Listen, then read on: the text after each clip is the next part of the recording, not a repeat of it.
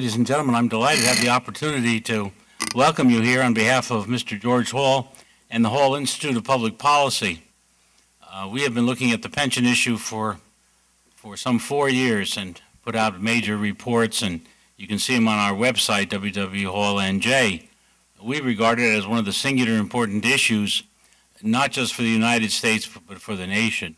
And we're very pleased with what has come out in terms of the uh, Pew Foundation reports that you'll hear about more today, I'm sure. I'm also delighted once again to have the opportunity to work with, with Richard Keevey. He's incredible he is one of the truly great public servants in the state of New Jersey. His record is one that is known to all of us who really appreciate the idea of devoting your life to government and understanding government. So we, we salute him. I'm also glad, Dean, to be home again. Um, I was an undergraduate here at Rutgers in Newark, and whenever I come by, it makes me feel good to be able to now be a part of uh, of, of a major seminar that is taking place in one of uh, the halls here at Rutgers. We didn't have these halls at the time I was there. Uh, we had basically an old beer factory, which was on uh, Rector Street, and we had a, a, library, which was a delight, but it was way in the bowels, and whenever it got hot in the summer, you knew the origins of much of the industry of Newark at the time. That's all changed. It's become a modern, beautiful series of campuses up here, and it was a pleasure all the time to come back once again. Thomas Wolfe is wrong. You can go home again. So we hope that you have the opportunity today to enjoy the uh, joint presentations that um, Rutgers and the Hall Institute have put together, that you look at the question of pensions, and that most importantly, you come away with a sense of the true urgency of the issue. Thank you very much.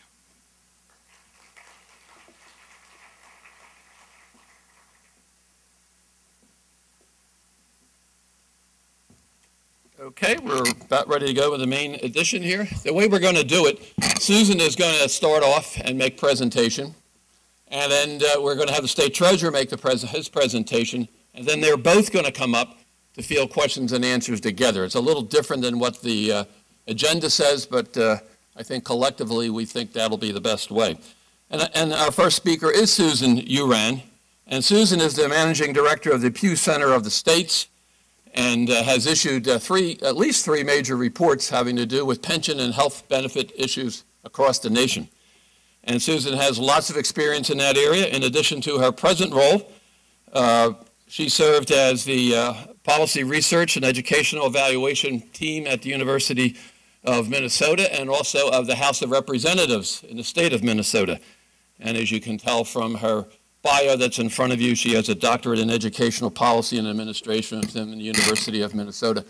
So without further ado, let me welcome Susan up to the podium here. Susan came up last night from Washington, so we appreciate that extra effort. And if I can, all right. You know how to do this, Susan? I was just testing you.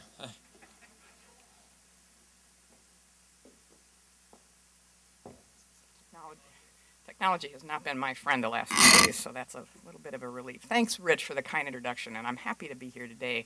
Um, for several years now, the Pew Center on the States has been tracking the condition of public pensions and retiree health care systems, and we've been assessing how well state policymakers have been managing them. Our research on this topic is one of the ways that Pew um, help states deliver the results that Americans expect from government, safe communities, good schools, and a fiscal house that's in order. And these are the things that are really fundamental to American prosperity. Policymakers get these results by making investments in data-driven policy, in programs that show a strong return for taxpayer dollars, and, choosing, and for choosing solutions that work over the long term as well as in the short term. Now, the growing cost of public um, employee retirement benefits are a significant fiscal challenge for states in the short run and in the long run. Most states' pension and retiree health care costs are rising sharply. They're adding to budget pressures in the states, and they're threatening to crowd out spending for other priorities like education, health care, and infrastructure. But it's more than just a fiscal issue. Retirement benefits are an important tool for recruiting and retaining a workforce that is efficient and effective, And the issue of retirement security writ large is one I think um, that this country is going to really have to start to wrestle with over the next 10 to 15 years as people really take a hard look at what people have set aside for retirement in a system where pensions are increasing a rarity. Um, policymakers really need to find a balance, a set of policies that are going to attract and retain the productive workforce that they need, but they need to be able to do that at a sustainable cost to taxpayers. So let me lay out some key facts first to start this conversation, and then at the end of uh, the, the, two, the two speeches, like Rich said, um, I'm happy to answer any questions that you have. I'll give you a national overview first, based on Pew's research, about how states are performing on the important task of managing public sector pensions and retiree health benefits. Um, I'll describe some of the actions we've seen states take, and then I'll talk just very briefly about how New Jersey fits in the national context. And then next I'm going to look at how states are managing their health care, public employee, public retiree health care plans, and talk about those reforms and again where New Jersey fits. So let's look at a few of the troubling numbers that have put this issue on the front burner for most states. At the end of fiscal year 2009, and that's the last date, the last year for which we have um, data for all 50 states, states were $1.26 trillion short of the amount that they needed to pay for retirement benefits. That's both pensions health care, and other benefits for their public um, employees. Now, that's likely a conservative estimate because what we did when we did that um, assessment was that we used the state's own um, assumptions about the return on investments they were going to get for their pension funds. And overall, that averaged about 8% across the country. So um, you kind of look out at the economy these days and think about the kind of return that you perhaps are expecting on your 401ks. And the lower that return is, the bigger the unfunded liability is, and sometimes startlingly so. Now, that funding gap has serious implications for the public and for policymakers. The bigger the gap, the larger the cost for the taxpayers every single year and for many, many years out into the future. In the last decade, we've seen a very sharp rise in pension costs. So if you look at this chart, what this shows is that um, this is the annual cost or the annual check that states should have written not did write, but should have written to fund their annual um, required contribution into just their pension funds alone. So back in 2000, states were on the hook for about $27 billion. Um, in 2009, that had increased to $68 billion. That's an increase of 152% in the annual cost of pensions for state. Over that same period of time, state general fund spending went up about 44%. So you begin to see some of the disparities there. Take a look at New Jersey. That same time period, New Jersey's annual bill went up from just about a billion dollars to over four billion. That's an increase of 300%. Another kind of startling example is California. The cost went from 1.7 billion in that state to over 12 billion dollars, which is an increase of 644%. Now, it's important to recognize that this funding shortfall is not um, purely an outcome of the Great Recession. It certainly made it worse, but it was not the driving cause of it. In 2006, before the recession, states faced a total shortfall of $731 billion. In 2008, and this is before the impact of the Great Recession really had had a chance to register on the balance sheets, uh, the, the funding gap stood at already about a trillion dollars. We saw more of the recession's effect between 2008 and 2009, when the funding shortfall grew about 26% to that $1.26 trillion figure I mentioned earlier. So let's take a look at the $1.26 trillion gap a little bit more closely. The first thing you can see on this slide is the total liability that states have incurred on both the pensions and the health care and other post-retirement benefits side. That's $3.6 $3.6 trillion is the total liability. Um, the very large circle is pensions, the smaller one is health care. So most of that liability is pensions. Half the shortfall is on the pension side, $659 billion states are short, and the other half, about 604 billion, is on the health care and other benefits side. You put those two together, and you get the $1.26 trillion gap. Pensions are certainly the much larger liability, but they're on average across the country about 78% funded, whereas the smaller retiree health care is almost entirely unfunded. Only about 5% nationally of that liability has been set aside by states. Now, while state, um, state retirement fund investments generally earn strong investment returns over the last couple years, states would be, I think, quite unwise to count on investment returns to get them out of the hole that they are in. The shortfalls are simply too large. And in fact, when the data from fiscal years 2010 and 2011 are out, the national picture is likely to be worse, not better, because most states smooth the both the, the losses and the gains that they get that they get from their pension funds over several years. So even as we look at the numbers from 2009 and 2010, the losses have yet to be accounted for that have come from um, the very significant dip they took during the, the Great Recession. For 16 states that have released data for 2010, the average pension fund level declined again from 77% in 2009 to 75% in 2010. So the bad news is not quite over yet. Um, now, the 78% average funding level is a useful number, but it does mask a significant amount of variation in states across the country. So what this state shows, what this map shows is a snapshot of pension funding in 2009, which again is the last year for which we have data for all 50 states. What it shows is that several states have actually responsibly managed their pension funds. The light colored states on the map have pension funds that are more than 80% funded. Um, for example, you take New York as an example of, of a well-funded pension system. They had a surplus in 2009. North Carolina's pension plans were about 97% funded. But most states are not in such strong shape. If you look at the states in dark blue, 31 of them had pension systems that were less than 80% funded.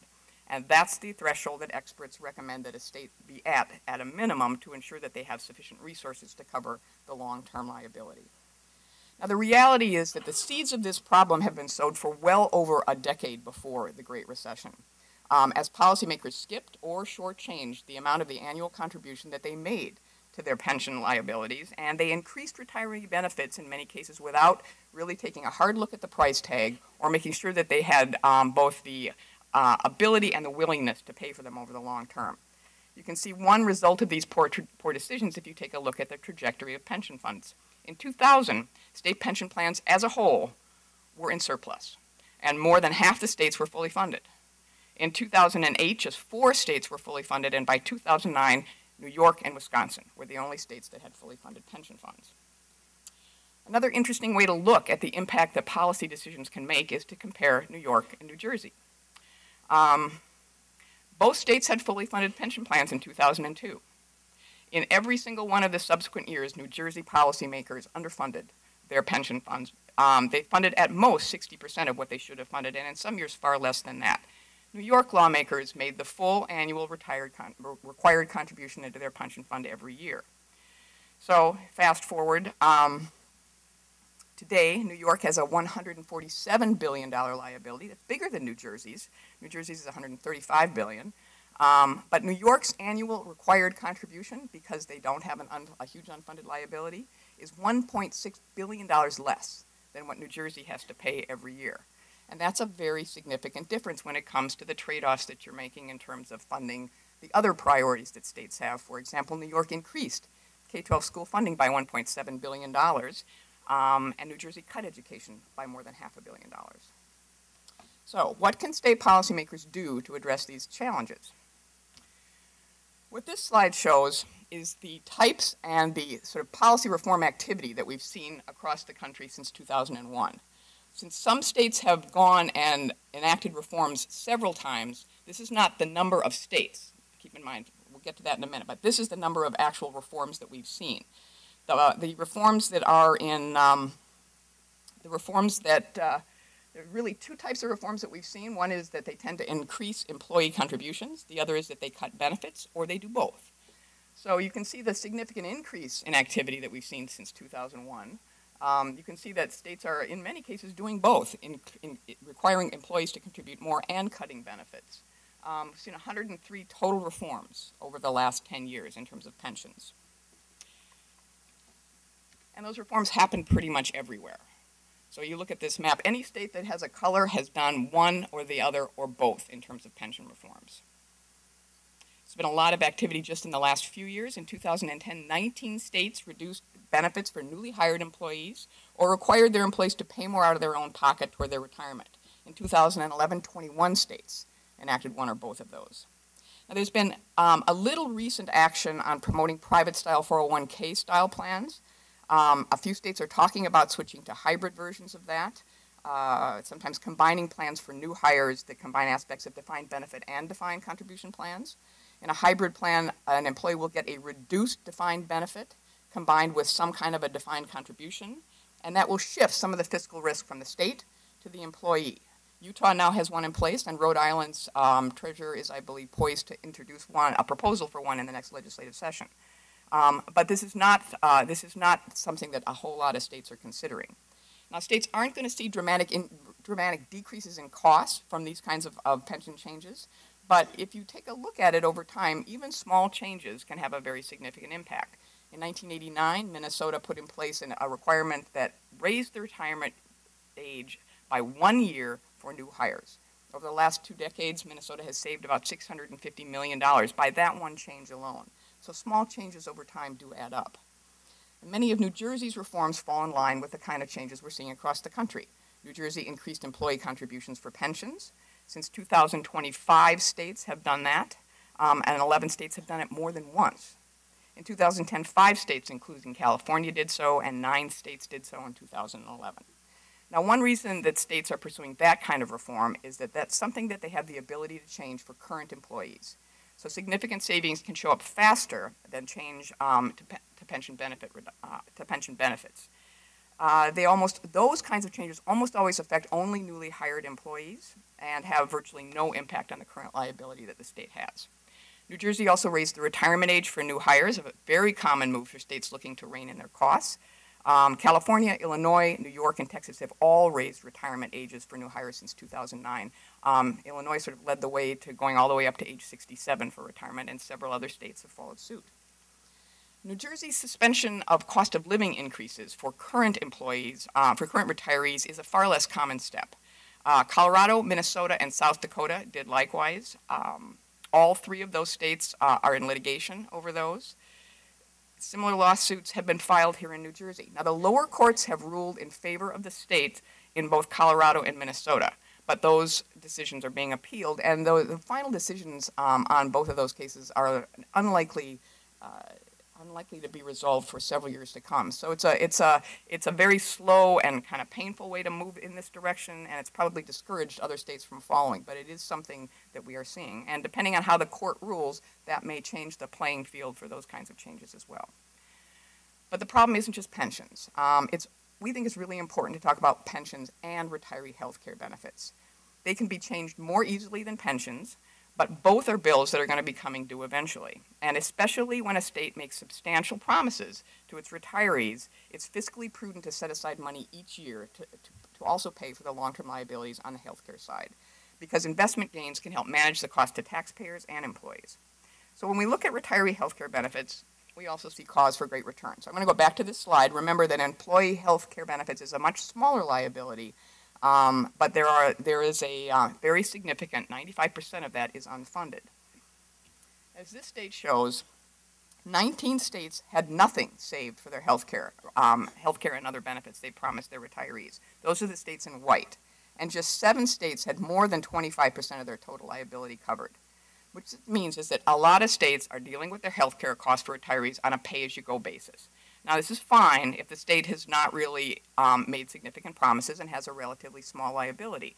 But for states that have incurred a very significant liability over a long term, the pay as you go um, approach is going to be quite challenging, particularly in years to come as the baby boomers move into retirement and as healthcare costs continue to climb. So take a look at New Jersey again. The liability on the New Jersey side is just a little bit over $66 billion. In New York, it's $56 billion. Um, in Illinois, it's about $44 billion. So maybe manageable now, but in years to come, maybe a, a far more significant problem. Again, states are taking action on this front. It's less common than it is on the pension front, but we are seeing growing policy activity. Um, last year, seven states made changes to how they structure uh, their health care benefits for states. They either increased employee contributions, reduced benefits, established a trust fund, or did some combination of all three. In 2010, New Jersey increased employee contributions toward retiree health care, and they tightened eligibility, eligibility requirements. In 2011, employee contribution rates to pay for health care were further increased. Now, a new issue that's moved, um, that's emerged is a move by states to enact limits on employees' rights to collectively bargain. This was done in Wisconsin and Ohio. Here in New Jersey, the state moved to eliminate its employees' right to bargain collectively on retiree health care benefits. Since this is a relatively new approach, There's not a lot of evidence available to say whether such restrictions actually produce savings or contribute to a healthier state retirement over the long term, but it's certainly something that folks are going to be taking a hard look at. So at the end of the day, it's not just about designing a retirement system that's sustainable on paper. States have to also have the fiscal discipline to pay for the benefits agreed to, because without fiscal discipline, there is nothing that's sustainable. That discipline is sorely needed in New Jersey. In 2009, New Jersey paid less than a third of the amount that it needed to fund the retirement obligations over the long term. And unfortunately, New Jersey has lots of company when it comes to this. Um, Alaska, Arizona, Florida, Idaho, and Nebraska were the only states that paid their full annual bills for both pensions and retiree health care in 2009. So clearly, policymakers in many states are taking a hard look at, over, at how they manage or fail to manage their considerable costs for public employee benefits and pensions, and even in states like New York and Wisconsin, where the pension benefits are actually quite well funded, um, governors are taking a very hard look at the size of the liabilities and whether that's a system that is sustainable over the long term for the state. It's important to step back and realize that this challenge has to be set within a larger national debate that really does begin to identify what does retirement security mean in this country and what are the, the, the sort of the paths that we are going to take to achieve it. The balance that policymakers strike on the public workforce and its costs is going to affect the employees' retirement security. I think many people are surprised to learn that about 6 million state and local public employees, or about one in four, are not covered by Social Security. Their retirement benefits depend very largely on the pensions uh, that are offered through their government employers. Factors like this need to be better understood as the search for solutions across the country continues. As policymakers and the public have come to grasp the scope of this crisis, we've seen action across almost all of the 50 states. But they have a long way to go before they shore up their retirement systems. And as they do so, they're going to be asking some key questions. What is the kind of system that is fiscally sustainable for our state? And it will vary from state to state. How do we ensure the fiscal discipline that we need to maintain that system? How will changes in the structure of pensions and health care plans affect our ability to recruit and retain the kind of workforce that we need? These are exactly the questions that New Jersey has begun to wrestle with and needs to resolve in order to fix its problems. We've been working on research for this for about the last five years. We're going to continue to do so, and we're very excited about being as much help as we can to New Jersey and other states as you move forward here. And if you are interested in the work that we have coming out, I'd encourage you to go to our website. Uh, it's www.pewcenteronthestates.org. You can sign up for our e-newsletter. You can pick just pensions if you want, and you won't get deluged, and we'd be delighted to share our work with you. Um, so thanks very much for the invitation, and I'll be happy to answer questions in a bit.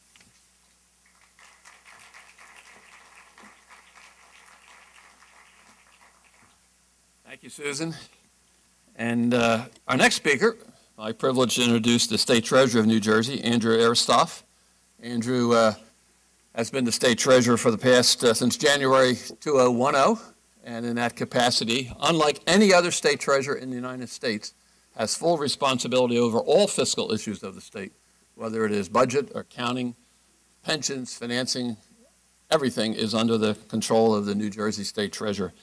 Uh, before coming to New Jersey, Andrew served as the Commissioner of New York State Department of Taxation and Finance. He was the Commissioner of Finance in the City of New York, and he was also elected three times to the City of New York City Council.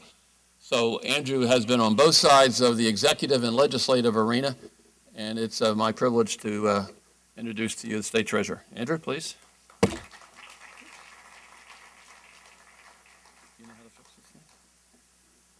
Let's see.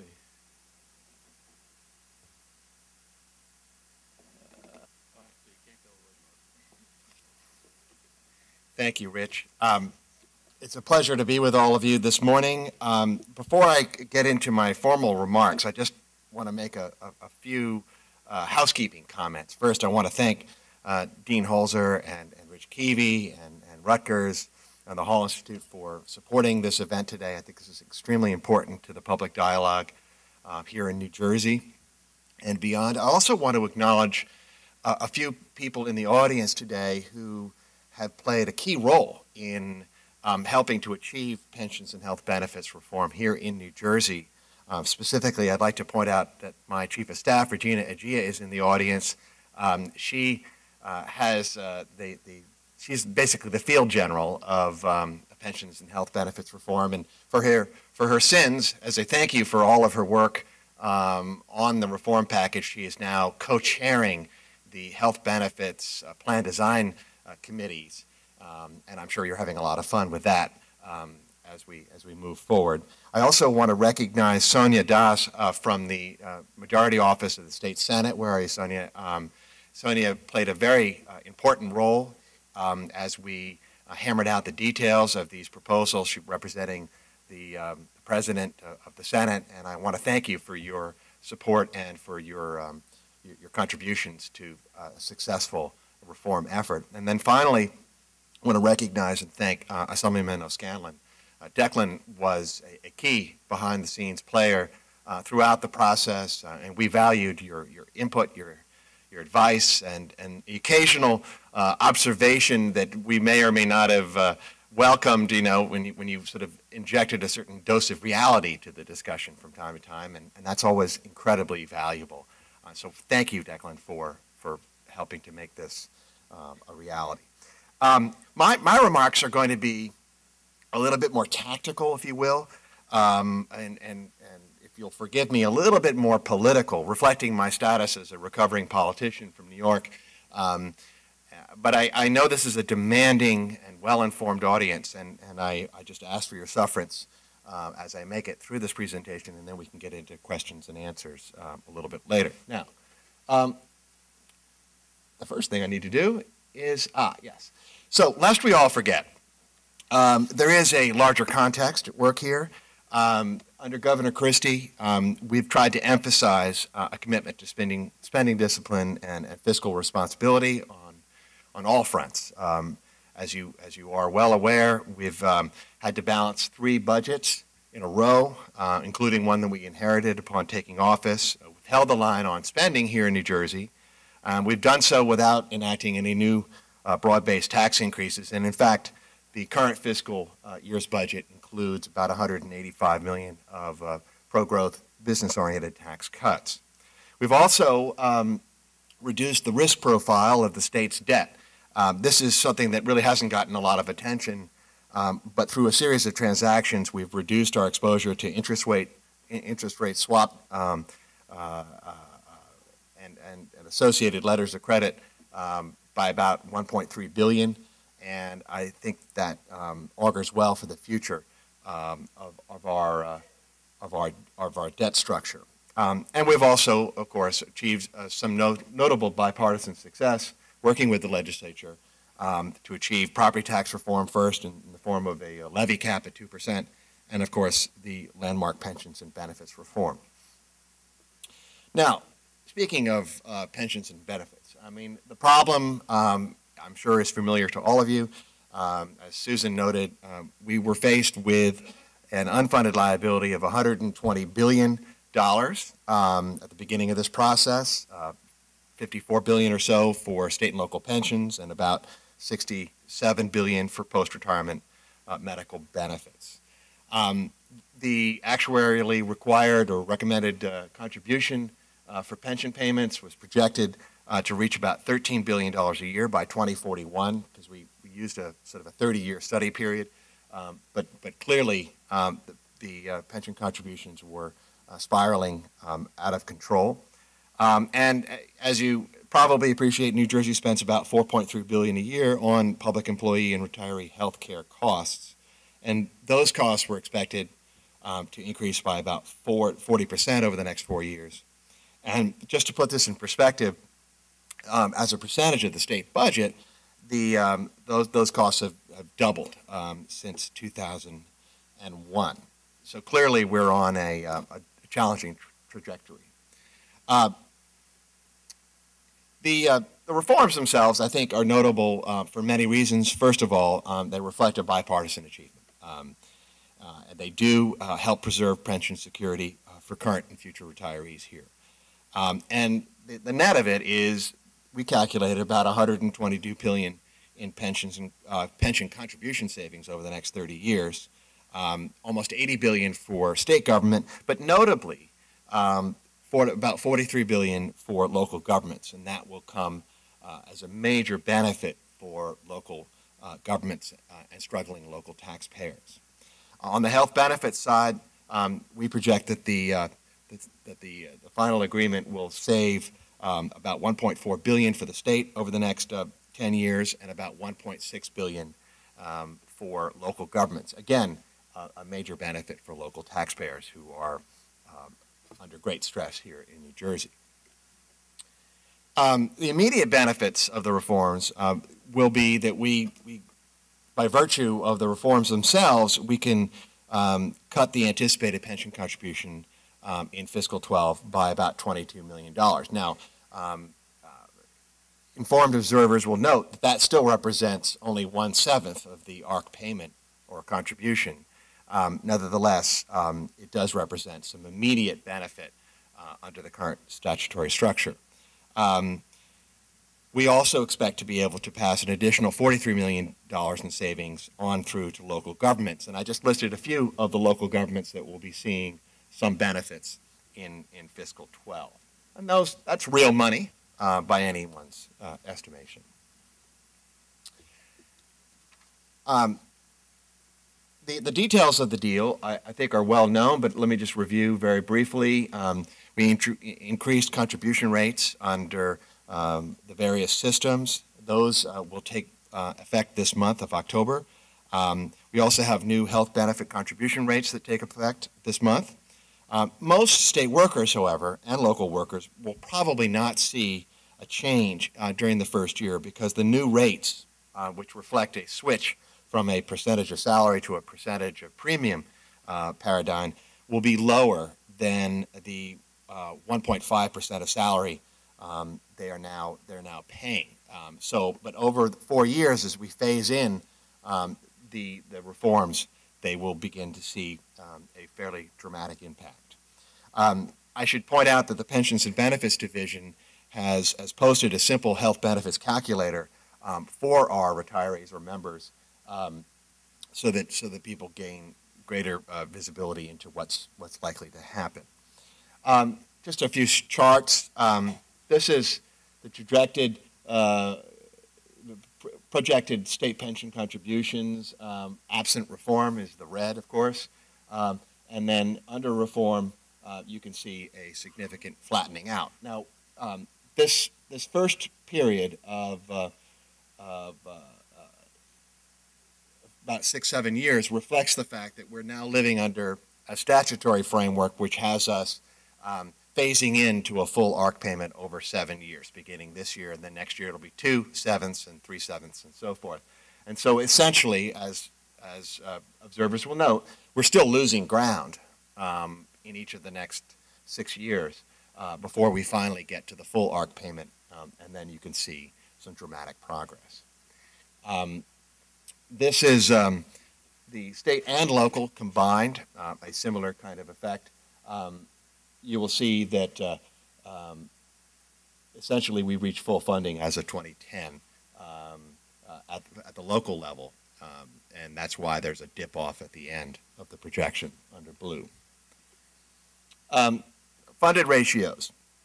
Again, we're losing ground over the next few years. We recognize that. Um, but then after that phase in of the full ARC payment, we'll be uh, realizing some steady, steady improvement um, and getting us up and over the 80% at risk level, which we feel um, represents a consensus view of, of what's appropriate and uh, sustainable. And again, I uh, wanted to present state and local in combination and a very similar uh, path forward. Okay, um, you know, there's a lot of talk about what different states are doing and how did they get there and, and what went into this. And this is where I kind of, um, uh, uh, you know, ramble off into the tactical weeds, if you will. Um, clearly, this was a product of compromise. As I said, it was a bipartisan achievement, um, and that meant a lot of dialogue, a lot of negotiation over a long, long period of time.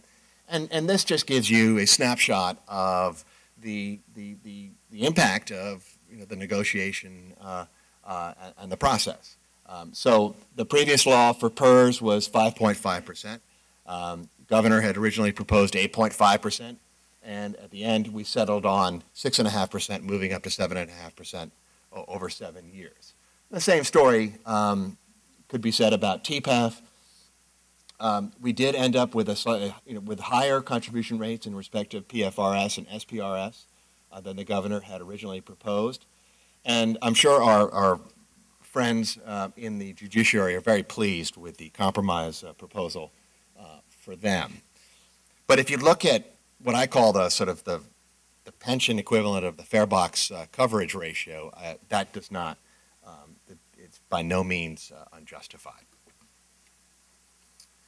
Um, again, just to show you sort of the warp and woof of the negotiation process, um, we had originally proposed uh, rolling back the 9% um, uh, pension enhancement that was adopted by um, uh, the legislature and the governor back in 2001. Uh, that did not move forward. Um, we did, however, um, propose, and, and we saw through a suspension of cost of living increases. Um, we did not achieve the, um, the proposal to extend period for calculating pensions for active members. I think this is uh, unfortunate um, because I still think the system is subject to a certain amount of gaming. Um, we, uh, we did uh, succeed in boosting the normal retirement age, um, but only for new hires. Um, and um, we also were able to do some changes on uh, early retirement with respect to new hires only. I I think these are issues that are going to come, come back around, um, and we'll speak to that in a few minutes. Um, and then finally, um, we had originally proposed some changes to the disability pension uh, system and, and standards, and those were not adopted as part of this package. I have a feeling, however, that we're going to be continuing to talk about that in the years ahead. So, um, on the health benefit side, um, we did achieve a very, very significant um, change. I think a uh, the, the single most important thing that happened on the health benefit side was um, that we were able uh, to switch from a percentage of salary um, structure or scheme to a percentage of a premium. And as everybody here will appreciate, that essentially puts the, the member employee on the same side uh, or in alignment in terms of interests with the employer. And going forward, I think this will be seen in the future as the single most important accomplishment um, of the uh, of the health benefits reform. Um, we are going to be um, moving to roughly 20 percent uh, overall. Um, we had originally proposed a, about a 30 percent cost share uh, for our employees, which is still um, fairly generous if you look at uh, other public and, and private systems. Uh, but as a function of negotiation, we wound up with a sliding scale um, with an overall um, share of about uh, 20%, although at the very high end, you'll see 35%, and of course, much lower contribution levels at the, at the lower end. Um, and then finally, um, we will uh, move forward with the governor's proposal to, to give our workers, our members, more health benefit options. Um, so they will have, when we, um, when we enter the open enrollment period, they'll have um, at least three different options to choose from with four different groupings, you know, uh, coverage uh, uh, structures. Plus, they'll have a, um, a high deductible HSA uh, option available um, to them. So, so that will move forward, and we think that that is appropriate health care uh, policy. Now, um, this is my favorite diagram that you can't possibly read um, from your seats, but this shows you, th- this fan chart essentially shows you the, the sliding scale contributions under healthcare reform. So um, at the very high end, uh, you know, the, the, um, you can see that the, the contribution shares will uh, touch 35%, and of course, the, uh, at the very low end of the salary scale, uh, the contribution amounts will be relatively low uh, but all will increase over the next four years. So, um, you know, let, let me just speak a little bit to sort of the tactical approach, and I hope, you know, I, I hope that uh, uh, this doesn't make it into the Star Ledger tomorrow. Um, but, you know, I, I, people have asked me and, and, others in the administration, so, so how did this happen? Um, and, and maybe, maybe I should just offer up a, a few observations um, that may, may or may not be tact, um, portable to other um, jurisdictions. Uh, first, you got to take the first step. You have to have actually put a proposal out, um, and that's what we did last September. Um, and predict, you know, predictably, uh, we drew a lot of heat. You know, we, the governor came out with his, uh, his, his proposals, and immediately the battle was joined.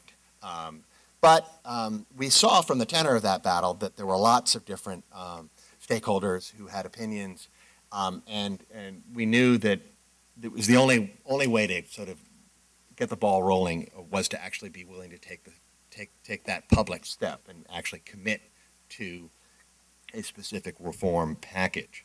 Um, then the governor did um, what he does so very, very well, and that is take the case to the public. Um, I mean, no one could deny the magnitude of the problem.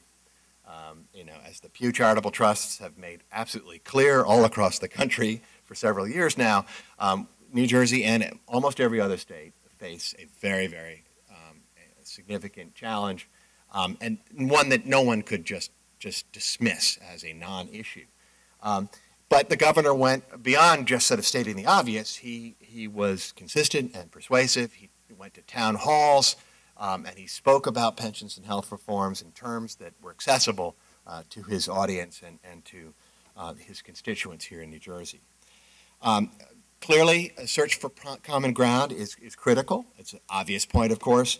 But um, you know, one of the first things we did was try to take an inventory of our points of agreement with the other stakeholders um, who were active in the issue. Now, um, the Senate president came out with a, uh, a, package, his own reform proposals, shortly after the governor.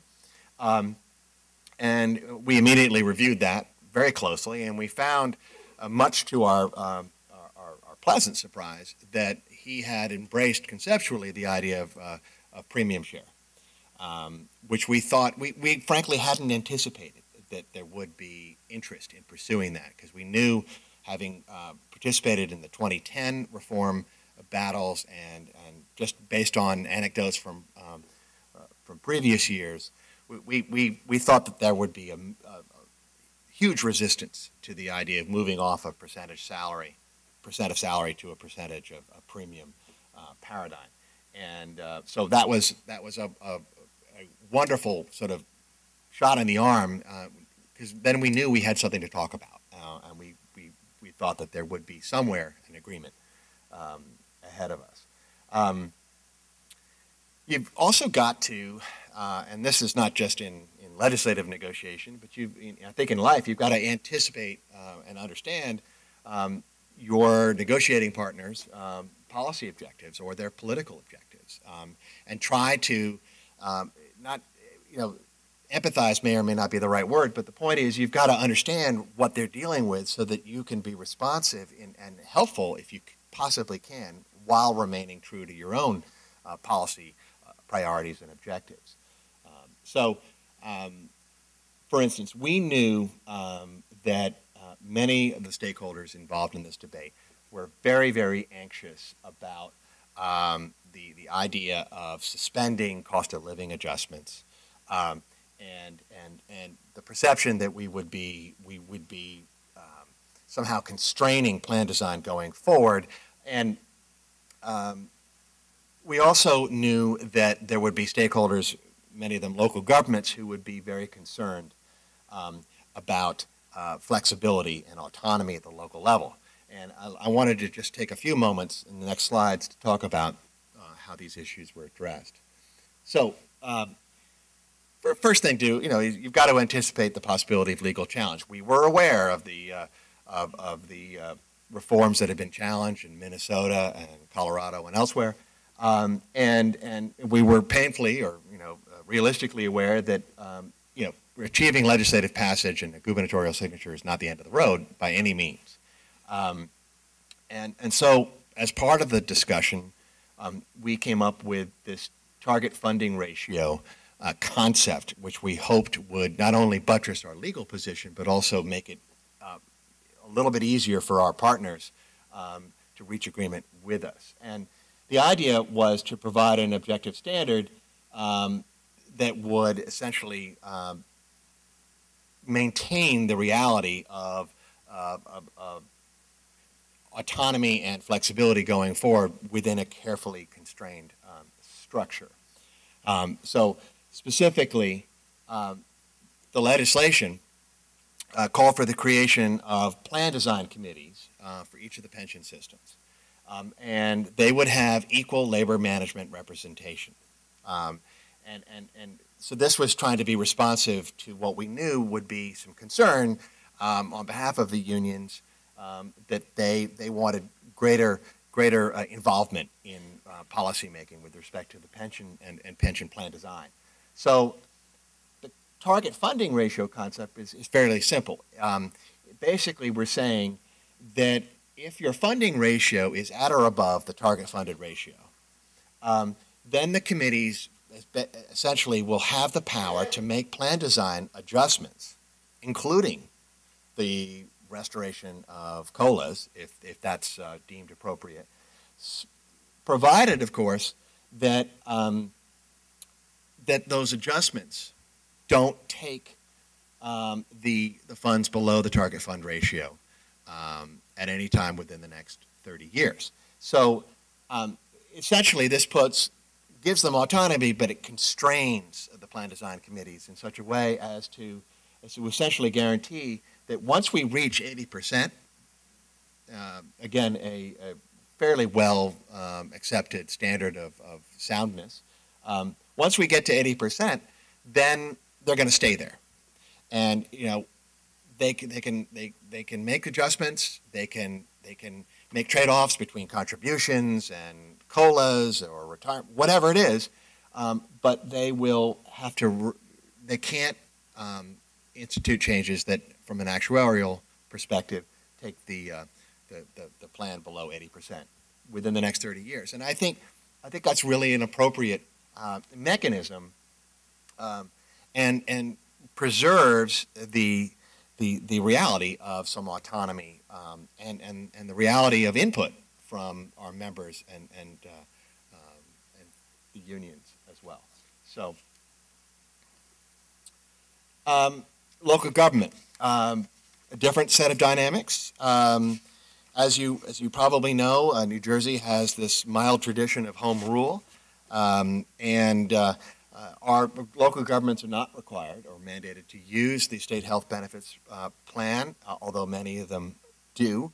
Um, and so the challenge was here: how do we avoid a situation where we have, um, uh, you know, towns who don't choose to participate um, undermining the the reforms that we've just achieved at the state level.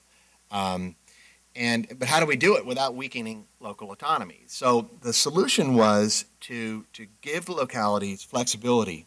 Uh, if they're outside the state health benefits plan, they have the flexibility to negotiate different benefits, including different, presumably different contribution levels, uh, if they can certify savings equal or greater than would be realized under the state health benefits plan contribution scheme. So that just says to localities, look, if you can do it better, you can negotiate with your unions and, and, and come up with an alternative package that at least keeps you uh, at the same status uh, as the state health benefits plan. Have at it. Be our incubator of reform and innovation. Um, and again, this preserves a measure of autonomy, um, but creates a, at least a, a, a, sort of a backstop, which we think will help local governments resist um, pressure of various kinds to give away the store. So, some lessons learned. Um, again, this is from a recovering politician, so this is all to be taken with a grain of salt. But um, uh, you know, it's still possible to do some big things in government. Um, occasionally, I get very frustrated and, and um, uh, a little bit wistful uh, when I talk to my father, who was involved in the 1960s in municipal government in New York, when you know the attitude was, "Why can't we do that? Let's try it. You know, go for it." Uh, now, of course, um, you know, we're, we're, we've been beaten into submission so that, so that our expectations of what government can accomplish um, have, been, have been constrained, to say the least. So, but it's still possible every now and then to do some big things. Um, you got to be open to compromise. Um, and I think um, as part of that, you've got to understand that victory shouldn't and can't be zero sum, uh, and it's never permanent. I mean, this is government, this is policy making, it's a continuous stream. At least that's my conception of it. Um, this is the third point is the single most important point for me as a, um, a government administrator and a, and a sort of a, a, groupie of government um, uh, public administration Um, don't underestimate the need for decision analytics. Um, uh, we really suffered a paucity of decision analytics throughout this process. Um, we, uh, where we were dealing with, you know, pensions and health benefits reform um, involve multiple, dozens of independent variables, right? You know, contribution limits, internal rate of return, actuarial methods, accounting method, you name it, everything's adjustable. And um, luckily, we had consultants available to us uh, and actuaries who were able to, to, to crunch the numbers um, and run these what if scenarios. And you know, this began over over the summer, more than a year ago, as we were modeling different options for the government uh, governor's consideration, and it continued. Um, it fluctuated, of course, with with the sort of pace of negotiation, but um, it was it was um, it was an overwhelming need for this kind of decision analytics, and um, this is a bit of a hobby horse of mine, um, but I think um, I, I think this is not widely under, understood or appreciated outside of government. Um, that that we don't typically have access to the kind of decision analytics that I think are appropriate to making these major, major decisions. Um, and in fact, uh, uh, if I might be so bold, um, as other states contemplate making some changes and, and um, doing what we did, um, I hope that somebody somewhere will decide to make a gazillion dollars by build, building a decision engine um, to analyze um, uh, pension reform options and, and health benefits reform options. So when I asked for this at the beginning of, of our process about 14 months ago, and I was told firmly, um, such a such an engine doesn't exist. I was thinking, you know, why can't we build a mortgage calculator that you know has a few other variables, and we can plug in the IRR and the, you know, the the open uh, amortization period, and you know all these things. And I was told, of course, by consultants who wouldn't have benefited from the availability of such a, a, a decision uh, tool uh, that it didn't exist. But somebody somebody should be aware that there's an opportunity out there, um, and it's not just limited to pensions and health benefits. And then, you know, finally, um, uh, be realistic uh, and anticipate the fact that there will be a, a next time. Um, pensions and health benefits reform will come back. Uh, it's, it's not done um, forever by any means. Um, as Susan noted, there are many, many outstanding issues for New Jersey as well as other jurisdictions across the country. Um, and um, uh, I know that this will be a continuing conversation, but that's okay. It helps me sleep at night knowing because otherwise um, it would be very hard to make a deal if, if, if, if, if you weren't comfortable um, that, in fact, there would be an opportunity at some point to revisit these issues and make further progress down the road. So, with that, let me uh, thank you for your time and your patience and your understanding.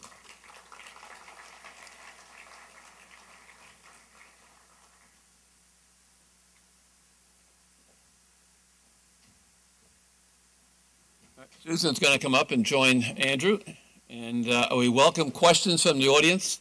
Unfortunately, I don't see a microphone here, so you're going to have to shout it out. Um, this is something we actually started looking at about six months ago because there are very few states, if any, across the country that are taking a look beyond anything beyond their sort of projected internal rates of return. That's become a real sort of flashpoint and focal point of discussion.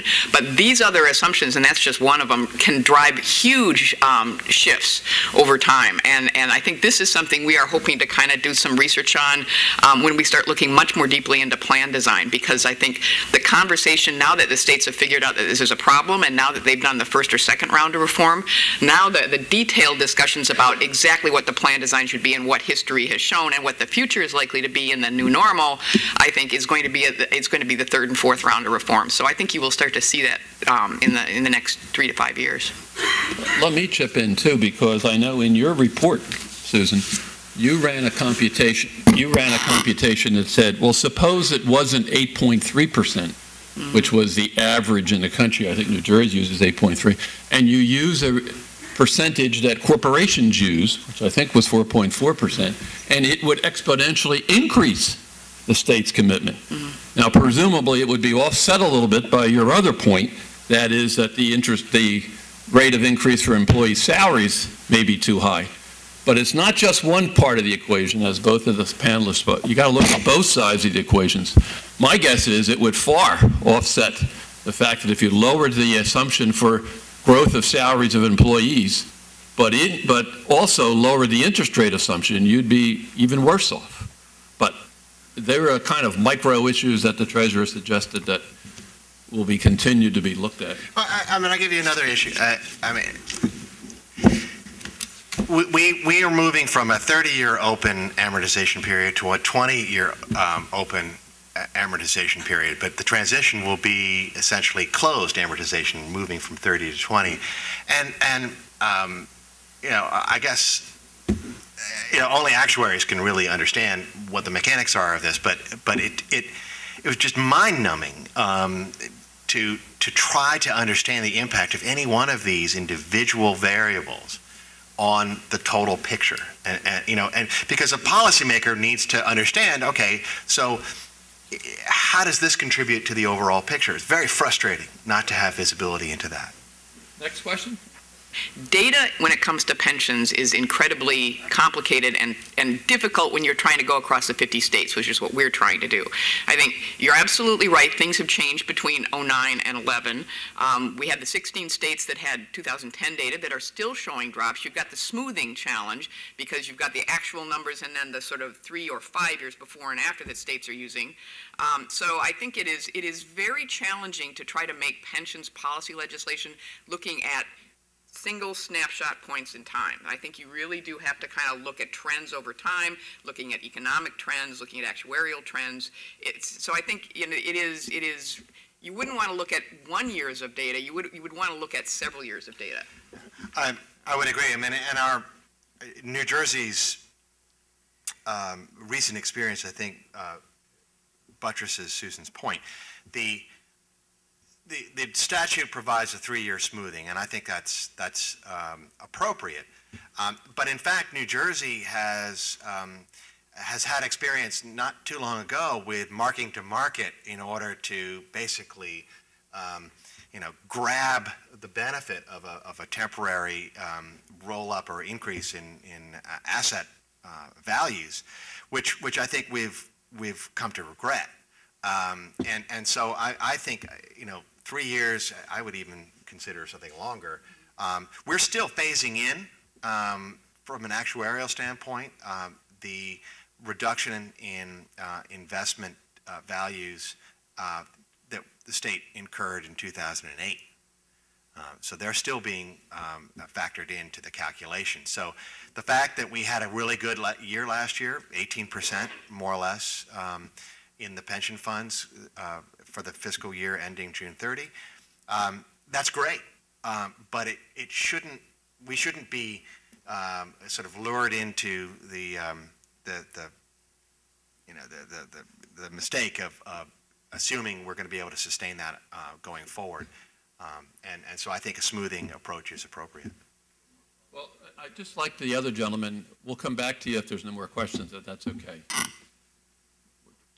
In general, um, I think states have not gotten that far in the conversation. I think it is a really important next step, but, but primarily what they're looking at is the impact on the state budget. It is a fiscal issue. Um, they have not broadened it out to think about either sort of the impact on recruiting and retaining the workforce necessarily, or on retirement security more broadly. And I think all three of those things need to be considered. But at this point, the conversation is primarily a fiscal one, and my guess is they will be looking at the impact on the annual contribution that's required, and that's going to be the short-term measure of success. I, I agree. Let me go over this one first. The target funded ratio um, will start at 75% and we'll move up incrementally to 80% for all the systems over the next seven years. Um, And, and essentially, all that means is that if a fund now is at or above 75% funded, um, then a plan design committee will come into being and will have the autonomy that I described to change some elements of plan design. Um, Then next year, um, that will, that 75 level will increase to, you know, just below 76%. uh, to reflect the one-seventh um, increase in, in the threshold. Uh, And again, the, the idea, the mechanism of moving from 75 to 80% is designed essentially to, to, to push systems up into the 80% um, without penalizing systems that have, um, are on a, on a relatively sound footing um, right now. And, but essentially, to ensure that they do no harm between now and when they get to 80%. That, that's the mechanism. It, it assumes that the state will make the one-seventh, uh, it- it'll make the contributions under the existing one-seventh law. Um, But the, the actual funded ratio for each of the systems will be uh, a, a function not only of contributions, but investment results, um, and uh, some other factors over the next few years. So, um, If I may? Yeah. I think it works something like this. If we're at one-seventh now, let's call it around five hundred million dollars, when we hit seven sevenths. Yeah. Which will be seven years from now, it'll be something like five point five billion dollars. Yeah. And then the commitment is that they, the state, will fund it, whatever the actuary says beyond that. Right, but that's different than talking about the mechanics of the, of the TFR. Um, The TFR just basically represents the threshold for this autonomy on plan design. And, um, yeah, there, there may be funds that are, ch- have this autonomy for one year and then dip below it based upon uh, investment results uh, for a couple of years. And, and so, we'll see what happens. As you saw, you know, the, the expectation is that the increased contribution um, levels and the other changes that we made, the other reforms, will over time lift all of the funds above 80%. Over, over time, though. It'll take some decades. If the state makes its commitment for Yeah, seven yeah, seven, and then funds it from then on, in the year, thirty years from now, they'll be at eighty percent Or less. or less. Yeah. If all, if, so you're not gonna go back and put money back in. Yeah. As you know, the governor uh, signed the one-seventh contribution law last year in March of 2010. Um, And, and I think that's a, a a firm commitment. Um, We have funded the, um, the, the payment, uh, the required payment for fiscal 12, and my expectation is that we'll do so in 13 and beyond. I don't know how else to give you any, any, any comfort, and um, other than to point out that, um, you know, we have followed through on what we said we would do. Um, And and I think frankly, um, there are external stakeholders who are, will continue to hold our feet to the fire. Um, You know, you'll be hearing later uh, from somebody from, uh, uh, at Fitch, um, you know, who has uh, certainly an interest in following events here in New Jersey very closely. Um, um, So there, there are lots of people out there who are watching us and making sure um, that we follow through on the commitment. Um, Other than that, I'm not quite sure what legal mechanism there is. No, I, I think the answer is appropriate. The question is very appropriate. It is the discipline of putting the money in the budget. Yeah. And if I may, that is going to be a big issue. If you go out to the five years from now or six years from now, and you've gone from zero appropriation for pensions now up to five billion dollars of appropriation, something, something else is going to give, right? By definition. Other questions? There is a constitutional requirement that we balance the budget. Um, But what I think is notable is the fact that we did it uh, here in New Jersey without uh, any broad-based tax increases. Um, And we did it um, at the same time that we began investing in tax cuts and other changes to make New Jersey more, more competitive. So I think that is notable. Uh, It's also notable that we were uh, in a position uh, to have to clean up a, a a widening uh, gap or fiscal mess left to us by the prior administration. Clearly, the economy um, has been a challenge all the way through. Um, but uh, the governor made some very, very tough decisions, took a lot of heat um, for making those decisions. But I think we're in better stead right now going forward. As to the as to the uh, the, the, the pension debate, I mean, I'll take full responsibility. Um, we gave the governor the facts. The facts are that um, the current pension system, or the, you know, prior to reform, was unsustainable by, I think, any reasonable uh, measure. Um, and um, to, to, to sort of act as if um, we could have just um, somehow grown our way out of this or uh, continued to bump along, I, I think would have done a disservice to the people in New Jersey and to the dialogue. Um, we had to kind of face up to this. It's unsustainable um, to, to move forward and irresponsible, I think, to move forward without addressing these problems. And I, I'm proud to work with a governor who has, frankly, the uh, you know the, the, the will and the desire and the leadership capacity to take this on. Yeah, and I think those observations are buttressed by uh, Susan's macro view of the pension systems in the country. I mean, this isn't just New Jersey saying they have a problem. It's reputable other entities that look at the pension issues and say it's unsustainable. We, we certainly see, and I think it's, it's, it's interesting to just look back a couple years as, as the gentleman from GASB might, might, might reinforce. It was only, what, three years ago, four years ago that states were required to even report the liabilities that they had for what they call OPEB, other post-employment benefits. Um, so before that, states just, they just paid zero attention to it.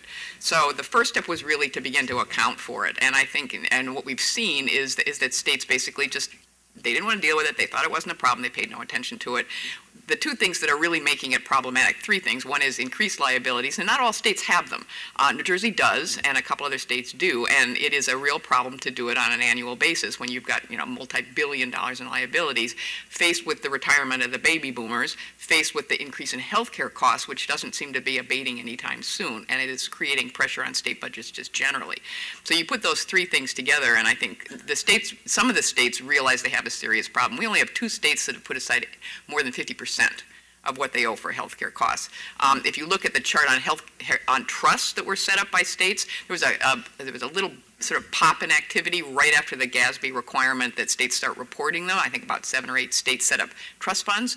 Not all of them put anything in those trust funds. So I, I think you know growing awareness, I think some understanding, but but it hasn't been. It, it's not been an easy time for states to really deal with this. It's still sitting out there. A, a couple of data points on this. I, I, believe New York City has begun to set aside some money on this, and um, and and also for New Jersey historians. Um, uh, New Jersey used to set aside money, um, and and then through a series of, uh, uh, shall we say, audibles at the line of scrimmage, uh, moved away from that um, into a pay-as-you-go paradigm. Um, I think sometime in the early 2000s.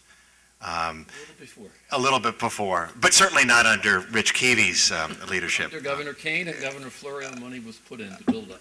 Yes, so so let, let the record reflect. And then uh, it disappeared. but um, can I just say, um, if you don't mind, I, I want to recognize uh, the fact that we've been honored to be joined by the Assembly Speaker. Um, uh, you know, Madam, thank you for, for your participation here today, and I want to also thank you for your leadership on pensions and health benefits reform. Um, we are all very, very grateful for your contributions. Gentlemen.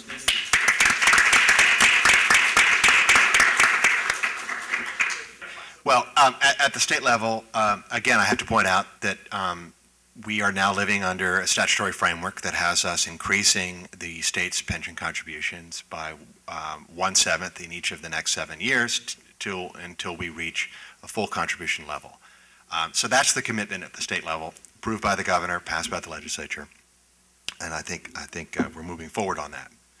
The at the local level, I would point out, um, and and um, because you very generously did not point out um, that you know many of the local the local systems are frankly better off um, than than the state systems, um, and that's a, a, by virtue of the fact that the uh, the local systems, with some exceptions, have essentially been paying um, their uh, contributions uh, all along. There was a period of a few years when the state authorized localities to um, to to to take essentially, what was it, a, a holiday? They called it a holiday. Um, and, and some localities availed themselves of that opportunity. Uh, others did not. Um, nevertheless, so, so we still have that to deal with, but, but essentially the, state, the local systems are a little bit better off from a funding perspective than, than the state systems, um, which means that the local systems will have autonomy, as I've described under the, uh, the TFR mechanism, sooner um, than some of the, the, state systems, which is, I think, should be welcome news. We believe that the um, the, the range of reforms um, with respect to both pensions and health benefits um, will um, provide significant relief to local uh, governments and local uh, property taxpayers. Um, I showed a, a, just a, an example uh, of, of how just by virtue of the reforms themselves and the the fact that when those those reforms are washed through the actuarial analysis, our projection is that Newark will be um, required or will be able to realize about a half million dollar uh, savings just by virtue of uh, having adopted uh, these reforms. And I think that's that's that's nothing to sneeze at. Um, and we would expect Newark um, and other localities will benefit under the health benefits reforms um, as well uh, going forward, especially once we um, get into the phase-in period in a meaningful in a meaningful way. I don't know if I've comprehensively addressed your question, but we're we're aware of the you know there are distinctions between the state and local government. We also uh, are aware of the fact that um, you know there's a warp and a woof here. There's there's there's state aid uh, going to the localities, and then there are contributions being made um, uh, from from funds at the local level toward health benefits and pensions. So, uh, to, to, my mind, I mean, I think the correct way to view it is that I tend to view it as a kind of an integrated system. State and local government really ought to be kind of conceptually one system um, because localities are, after all, creatures of the state. Well, the, the, the, the TFR concept applies to, to pensions. On the health benefits side, yeah, on the health benefits side, um, the you know Newark and, and other uh, local governments um, will be phasing into this um, contribution um, uh, structure that has paying has local employees paying on a percentage of um, uh, the premium premium share. And I, again, I don't think that many uh, local employees or state employees will see much of a difference in the first year because um, the phase-in is fairly uh, modest um, at, at, the, at the beginning. The, um, I'm not really qualified to speak to the question of, of monitoring of the city by the state. Um, that is actually not under the purview of, of my department. Um, there is a Department of Consumer uh, Community Affairs with a local government division that oversees um, state aid and, and, and oversight of, of localities, and uh, that's just a different division. So I haven't been intimately involved in the discussions with respect to Newark or any other locality from that perspective. I'm sorry, but I, I wish I could give you more information. Okay. Yes, sir. First of all, I mean, no one is saying that these aren't profound changes. Uh, uh, you know, the fact is, employees will be paying more than they're now currently paying for health care. Um, but if I could be a little bit um, uh, uh, blunt, um, that's the reality of what most private and public sector employees are facing right across the country. And, um, and in fact, even after these reforms, um, our public employees will be paying less um, in terms of uh, uh, premium um, than many of their private sector uh, and, and, and indeed many public sector um, colleagues. For instance, in the federal government, the number is roughly 30%. Um, so um, I, I, can't, I won't discount and, and, or, or, or, dismiss the fact that this will have a dramatic impact on employees. But um, I am, I, you know, I think this is frankly being realistic um, and it's appropriate and it's um, much more sustainable than, than the, the, uh, the, the, situation was when we first uh, dealt with it. Um, another observation, um, which is we very much hope and believe that by aligning the interests of our members with the state as an employer and local governments as employers, that um, that will also help keep uh, healthcare costs under control over the long run. Um, uh, you know, it's an old sawhorse that if something's free, um, essentially you don't really, um, you don't take pains to, um, to, to, to, to, to be careful with the resource. Um, but by aligning the financial interest of the employer and the employee with respect to healthcare choices, we hope that over time, our employees will make um, healthier decisions. Um, they will opt in to things like wellness programs. They will um, take care of themselves, um, make better um, treatment choices um, because it's in their interest to do so. Uh, also, by giving them more plan options, we hope that they'll um, optimize um, from their own perspective, from their family's perspective, their, their, not only their coverage, but their health choices within that. So for instance, I, I, am very fortunate. I may end up um, enrolling in the high deductible HSA um, plan um, when it becomes available because that might be a good choice for, for my family. Um, others um, may, may feel that a, uh, the, the, the more benefit-rich uh, options are more appropriate and, um, and will choose to make uh, higher contributions um, in order to have the security of knowing that they have a more complete level of coverage. But, but that's the point. The point is we want people to have skin in the game, um, to take responsibility, uh, or at least partial responsibility for their own health care management. Um, and I think that's appropriate, and that's at, at least part of the long-term solution with respect to spiraling health care costs. You know, one thing I would point out, just for context, a year ago or so, um, the, the GAO did a study of state and local budgets looking out over the next 50 years, and it was a, it was a very sobering report um, because it showed a widening gap, just assuming no change in policy between revenues coming in, given the economy and the cost and the, the amount of spending that states are doing. And absent any changes over the next 50 years, what that report said, state and local governments are going to have to make a 12% adjustment every single year, either a 12% cut in spending or a 12, per, or uh, you know, increase in taxes or cut in spending. And the primary driver of that, that's 12% a year over the next 50 years, is healthcare costs. So if the healthcare cost problem, this is just sort of the tip of the iceberg here that you're starting to feel, if as a nation we don't get these under control, there is going to be increasing pain, I think, that folks are going to be experiencing in the coming years there somebody I haven't recognized yet?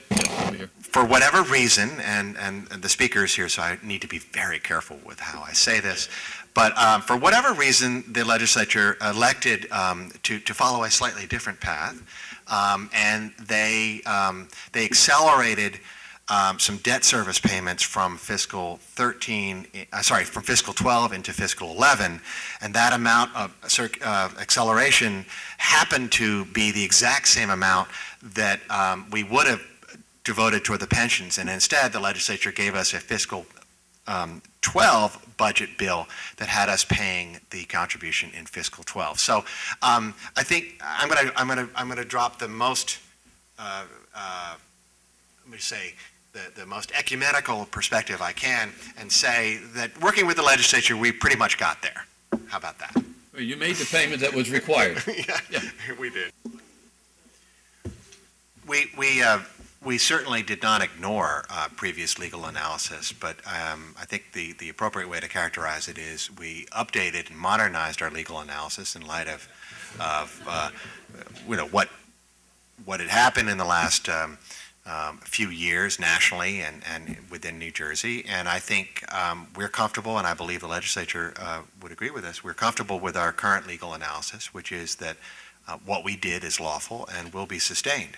And, and I will say, um, I think the TFR mechanism will prove to be um, uh, an important component of, of, of that, in that um, we were concerned about the idea of, or the, the, the, the possible perception that we were just wiping out forever and always um, uh, cost of living adjustments without any recourse to, to, to uh, flexibility and adjustment in the future. And, and so we, we came up with a mechanism that avoided that and that provides a reasonable uh, uh, uh path back to having that kind of flexibility. So we think that, that we, we, we think actually that um, even absent the TFR mechanism, we would have been in a strong legal position, um, and we're comfortable with the analysis. Anybody else I didn't get? Um, I, I, think I, I, think the time is ripe for a discussion about disability pensions. Um, everybody has seen um, recent articles in uh, various newspapers across the state highlighting some alleged abuses of the, um, um, of the system. Um, And, and to me, it- this is very sensitive to me personally because I served in, in the New York City Council and the New York City government where um, this kind of uh, abuse has been rampant for a, a very long time. And I, I, I really don't want to see New Jersey go down the same path.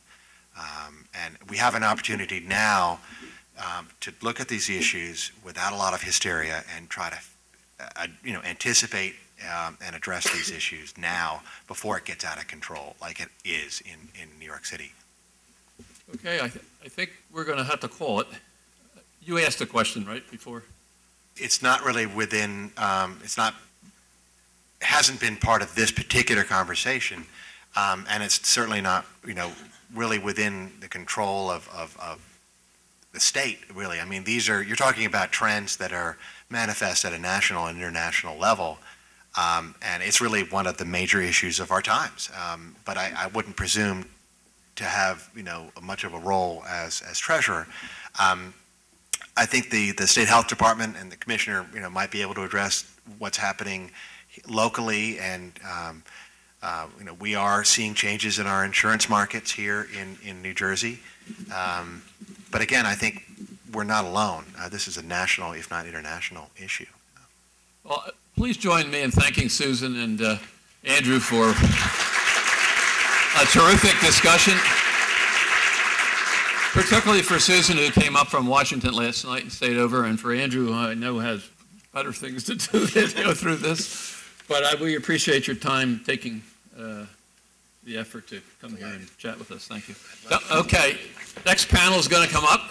Don't go away. We have the Managing Director of Fitch Rating Agency.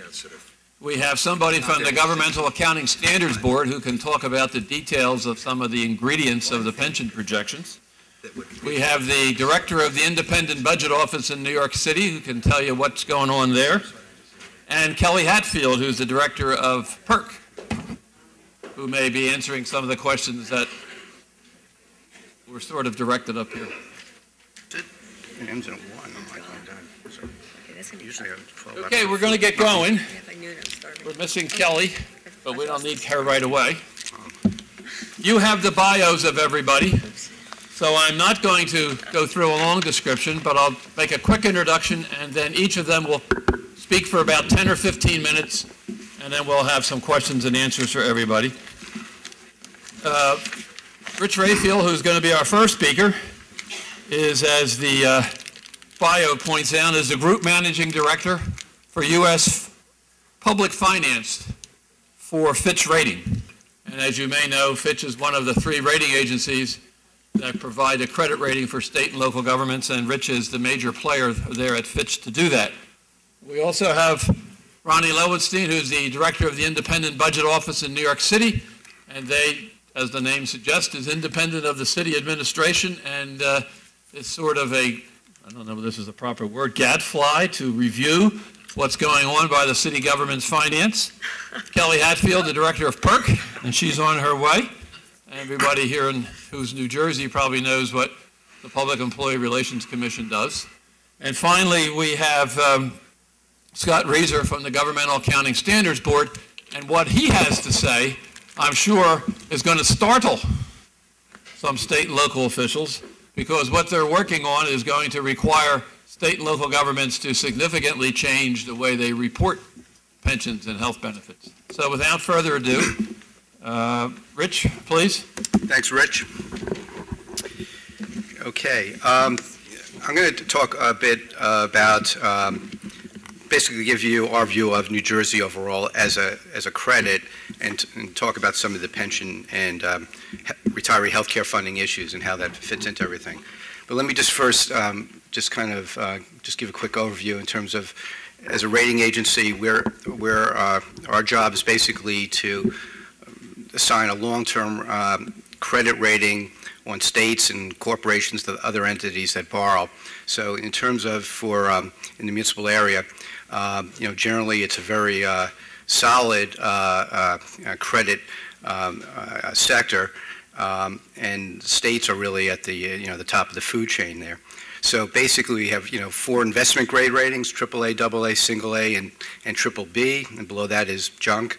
Um, And the state ratings are, um, you know, very high up. Um, um, Basically, um, well, one, one thing I wanted, to- before getting even to the ratings, we look at basically four major categories in, in doing our assessment. One is the economic base and, and the wealth and, and, and vibrancy of, uh, long-term viability of that.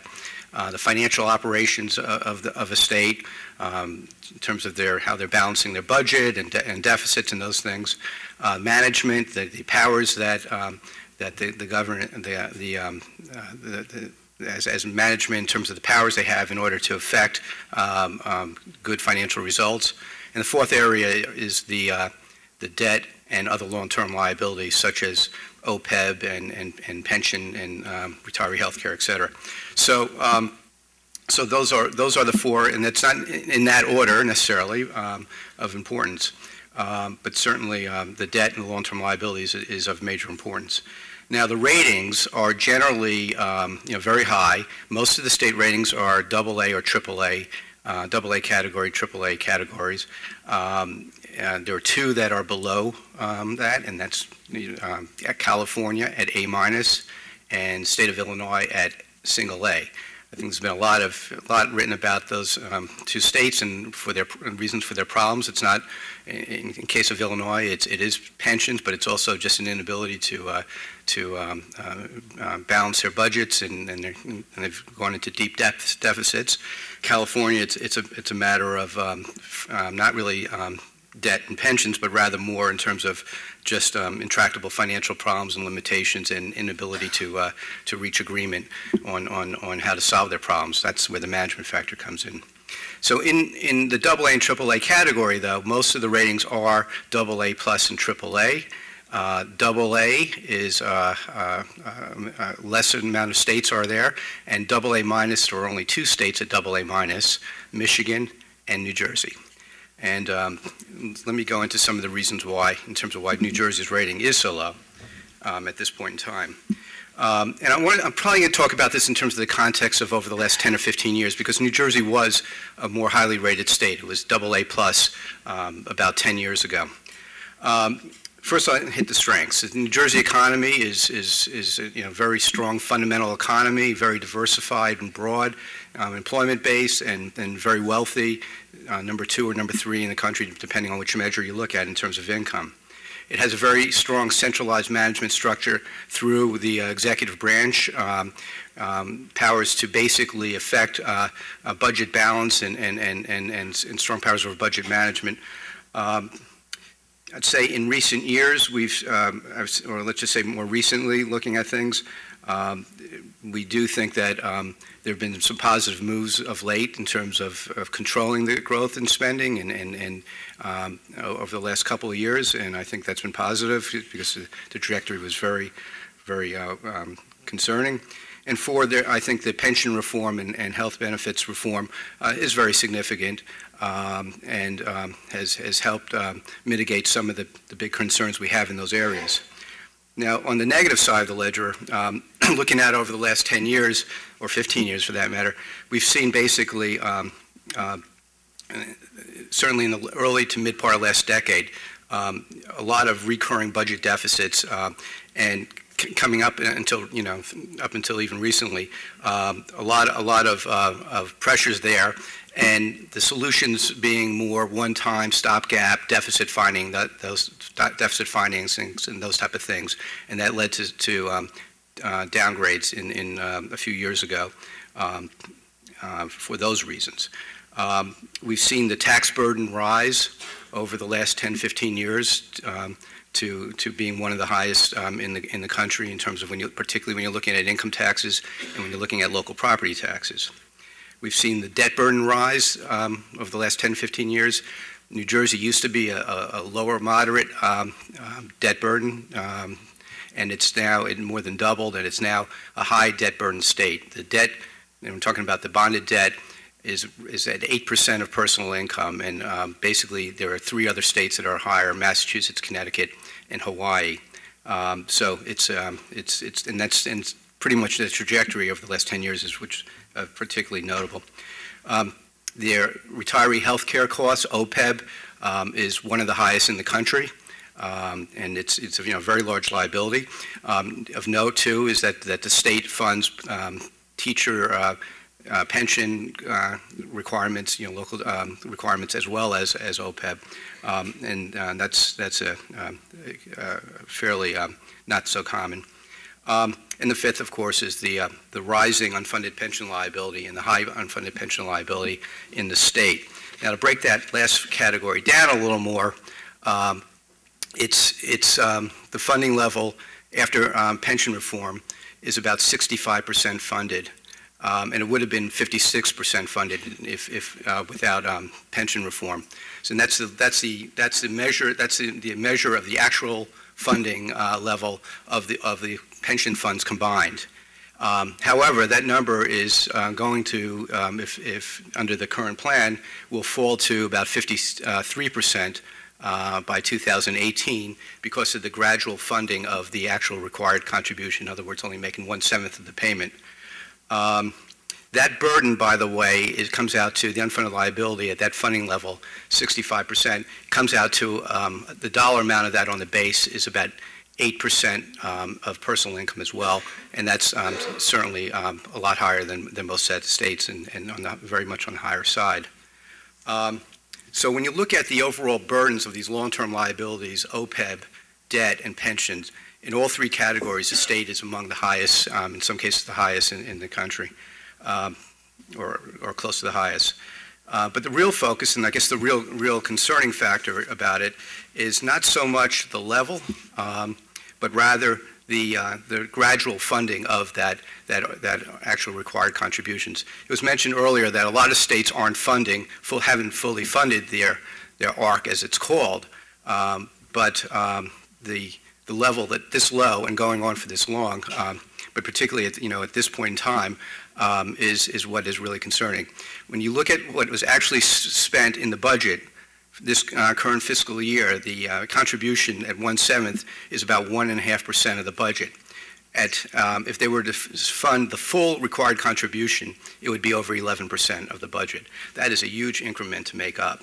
And um, the concern there is that to build up to that level of funding, to get to that um, over the next uh, seven years in an environment of a very um, uh, uh, limited uh, economic growth outlook in general, and when, when you're also dealing with um, some very other limit, a lot of other limitations that the state has, such as a um, high tax burden and a high OPEB burden, which will also be growing, um, you know, the rating kind of reflects that concern of, of those type of pressures that are, that are going to come to bear, particularly when the state's dealing with a lot of other things, um, and perhaps more so than other states, such as um, uh, school funding requirements that's back in the courts, um, um, the need for um, tamping down property taxes as it's, it's, it's very high, and pretty significant infrastructure needs. So I'm a very bleak picture, but basically, it, it basically, that rating really reflects all these pressures that, are, that, that we see ahead of the state and the difficulty it's going to have in terms of ramping up to this full funding of the pension uh, liability. Um, so that's kind of um, the way, you know, we're, we're, we're viewing it.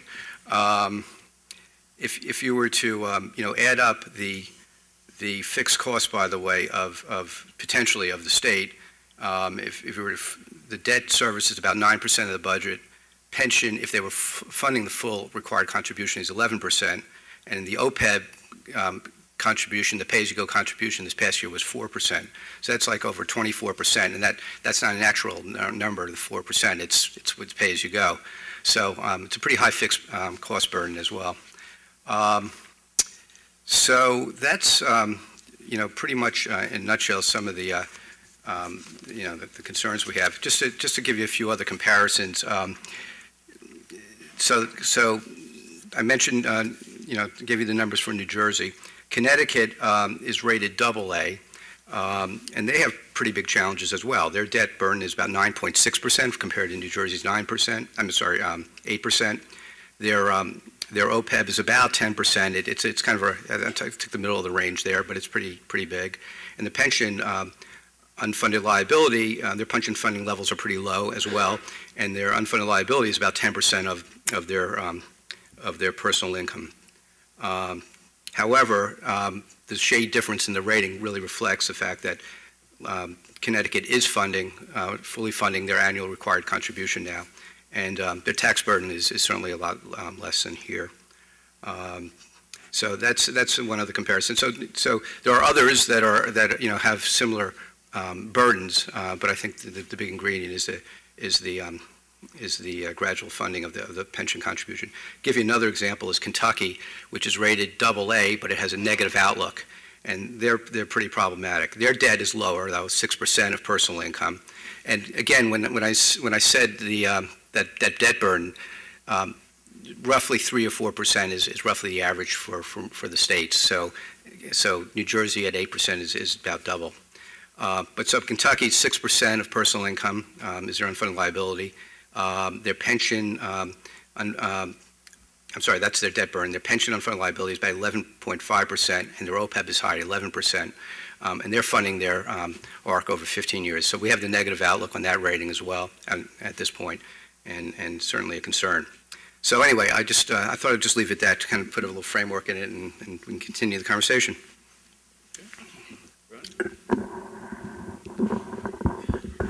First of all, thank you for having me. Um, I've never heard IBO described as a gadfly before, but that actually sounds uh, pretty good to me. I mean, we're usually a fiscal monitor or a fiscal watchdog, um, but gadfly actually sounds like a lot more fun, so I'm in. Um, I'm going to make three basic points here, and they're all about New York City. Um, uh, the first is, as I'm sure you understand, um, New York, like every place else, has seen its pension costs skyrocket in recent years. Um, in New York, we're actually beginning to see those pension contributions level off, um, but they're leveling off at an astronomically high level. Um, my second basic point is, yes, the city of New York has made its annually required contributions, but despite that, um, some of our five pension funds fall far short of the 80% healthy funding level, and I'll talk about that. Um, and then I'll talk about some very little noticed changes in pensions that happened at the state level in 2009 that at least hold the possibility of reining in some of the long-term growth. But it's just a possibility, not, not a certainty. And then if time permits, I'll talk a little bit about our retiree health benefit funding. It was good of the treasurer to note that the city of New York had established a fund to begin uh, funding some of these future liabilities. Um, what he didn't say was he'd already begun to draw that fund down for other things. So, moving on to pensions. Uh, first of all, the impact on the city budget. Um, I'll look basically over the last decade or so, and like lots of other places, back in 2000, uh, the city of New York enjoyed a historically low pension contribution. Um, that's due to a couple of things. One is really good returns in the mid to late 90s that had us flush. Uh, another reason was a very poorly timed pension restart where the city all at once took all of those big gains of the 90s and, and uh, realized them all at once in order to cut its pension funding level for 2000 down to a minimum. Um, there was no particular reason to do that. The city was in good fiscal shape that year, but um, the, the mayor wanted it anyway, and so we had a very, very low level of funding in 2000.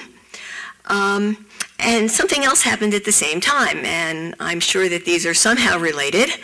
But seeing that the city of New York was barely paying anything into its pension funds, the state of New York, which is the entity that increases or decreases pension contributions, decided that it was time to significantly enhance pensions for city employees and did so. Uh, so there were a number of so-called pension sweeteners uh, that were adopted in 2000, spring of 2000. Um, some of the largest of them were permanent cost of living adjustments, uh, reductions in the numbers of years of required contributions, um, more generous calculations of final average salary for police and firefighters, and the list goes on and on. Um, I think it's important to note um, that there's a basic mismatch here. Uh, the state of New York um, legislates changes in pensions. Because there's a very strong constitutional provision protecting pensions for current employees and retirees, um, what the state typically does is increase pensions for new hires. Um, and that's very attractive politically, um, but it's also attractive for the state because they don't have to pay for it. So the state adopts pension legislation that the city ultimately pays for. And many of these provisions were actually objected to by the administration at the time of the city of New York, um, but went through nonetheless. So we've got a very, very low uh, pension contribution in 2000. So let me talk about the decade from 2001 to 2010.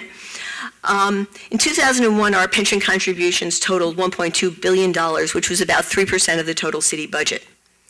A decade later, those contributions increased nearly sixfold, and the total contribution was in excess of 10% of the city budget. There was a really good report by the city's controller that talked about what drove that skyrocketing pension cost.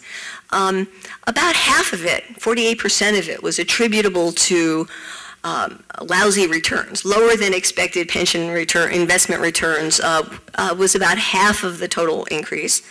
Um, but another 40% of it was the benefit enhancements that were adopted in 2000. Um, New York City since then has seen its pension contributions continue to increase. Uh, for the current fiscal year, they're 8.4 billion or 12.8% of the total city spending or budget. Um, some of that increase is probably artificial because the city has begun budget, in the most recent budget cycle, we have a long-term financial plan. So we budget for the current fiscal year, but for the following three years as well. And the city has built in a billion dollars a year for this year and the next several years in anticipation of changes in actuarial, in actuarial assumptions. It's hard to say. Um, mainly, we've been assuming an 8% rate of return. Um, the betting is that uh, going forward, that rate of return, assumed rate of return will be lower, and the $1 billion a year is, in theory, more than enough to give us uh, some cushion if that occurs. Um, the good news in all of this is, you know, over the next couple of years, looking out over the financial plan, we're anticipating that those pension costs are going to pretty much level out in the $8.5 billion level. Um, that's the good news. The bad news is they're $8.5 billion, which in a $65 billion budget is a whole lot of money and has obviously crowded out other sorts of spending. Then I wanted to say something about how healthy the city's pension funds are. We've got five of them. Um, unlike lots of other places, including New Jersey and the state of New York in the last couple of years, um, we have been repaying each year our required annual contribution. Um, but despite that, based upon the most recent available data, which is June 2009, a couple of our pension funds fall far short of that 80% level. Um, let me start with the, uh, the good news. Uh, NYCERS, which is by far the city's largest pension fund, that's the New York City Employees Retirement System. It's the one that I'm in. Um, it's over 365,000 employees, retirees, and their beneficiaries. Um, their ratio back in June 2009 was 79%. Uh, next was the city's police pension fund. Their ratio, that's about 75,000 employees and retirees. Their ratio was 71%. Um, in 2010, uh, the pension funds, which earn pretty much the same rate of return across all of them, uh, earn very strong returns of about 20% which means uh, certainly for those two funds, you know, with one year of 20% returns, uh, has pushed them up uh, at or above the, uh, the 80% funding level. Conversely, uh, the fund that's most poorly funded at this point is the fire pension fund. Um, even though it earned those same 20% um, returns last year and the required contributions were made, um, the funding ratio was 50, 50 sorry, 57%. Um, and even if you're earning 20% in 2010, if your asset base is only 57% of your liabilities, it doesn't help you all that much. Um, much of what's driven the problems with the fire pension fund is rising levels of disability and at this point, the majority of firefighters who are retired are retired on disability. And disability payments at this point are something on the order of 50, sorry, 75% of final average salary, uh, which is, um, you know, not quite double what other retirees are getting. So as more and more firefighters have uh, been defined as disabled, they've been able to earn far higher pensions, and um, that's uh, certainly the proximate cause of the problem there. Um, I don't think very many New Yorkers know this, and there'd certainly be no reason that New Jersey would be following it, but back in 2009, uh, then Governor Paterson vetoed an annual piece of pension legislation that had been routinely adopted year in and year out by the state legislature that kept police and firefighters um, from being punted into a new pension tier. I don't know if you use the same terminology in New Jersey, but in New York we have what's called pension tiers, and the older tiers are generally uh, have more expansive benefits than the newer tiers. At some point, legislation was adopted in Albany putting the firefighters and the police in a newer, uh, less generous pension tier. Um, but every year there was legislation up in Albany preventing that transfer from happening. So on paper, they were going to be in a new, less generous tier, but in practice, um, each year you got this annual legislation that kept them where they had been. Um, except uh, Governor Paterson, who um, certainly had a brief but colorful tenure as, as New York State Governor, uh, decided to veto the legislation. The legislature couldn't get its act together and override the veto. And so now, um, future firefighter and um, police retirees are going to see significantly lower pension benefits. Um, big impacts all over the place. Um, they have to work more years to get the same sort of pension benefits. They have to contribute over their working lives as opposed to 10 years, which is what I've enjoyed. Um, sharply reduced disability benefits. Um, less favorable rules for computing final average salary. Um, I should say that in New York, uh, for police and fire, final average salary includes overtime and other differentials, and you can understand what that does to payouts. Um, under the new rules, firefighters and police would no longer be allowed to make additional voluntary pension contributions, which they've been doing until now. Um, the reason the voluntary contributions are so lucrative for the retirees is they're guaranteed an 8% rate of return by the city, um, which in the current interest rate environment is, of course, um, a really important benefit. And then finally, if these um, benefits were to hold, um, they would see, upon hitting age 62, they would see their pension benefits from the city reduced uh, in line with increases in their Social Security benefits. Um, all of these are huge changes, um, and the question is whether they'd be allowed to stand over time. I mean, New York City has a very long history of adopting new pension tiers. I think we're at least pension tier five at this point, maybe more. Um, but over time, in the name of equity across pension tiers, those benefits tend to be restored, again by the state legislature. And once they're restored, you can't take them away from current retirees or current employees. So, you know, are all of these changes likely to stand? Uh, may, probably not. But even if some of them do, it will